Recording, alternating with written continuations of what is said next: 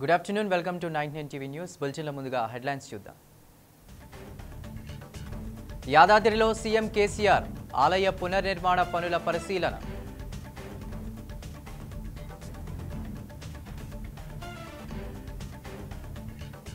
ఒక్క ఛాన్స్ ఇచ్చినందుకు విశాఖ ఉక్కును అమ్మేస్తున్నారు. మూతపడ్డ అన్నా క్యాంటీన్లను తెరుస్తామన్న నారా లోకేష్.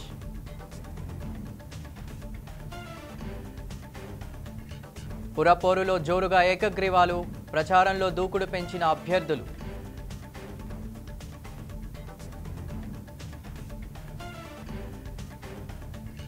తాజ్మహల్కు బాంబు బెదిరింపు పర్యాటకులను బయటకు పంపి బాంబు స్క్వాడ్ తనిఖీలు.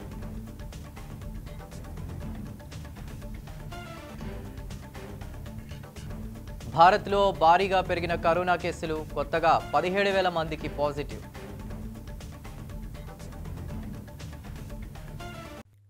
For more updates please subscribe ninety nine TV Telugu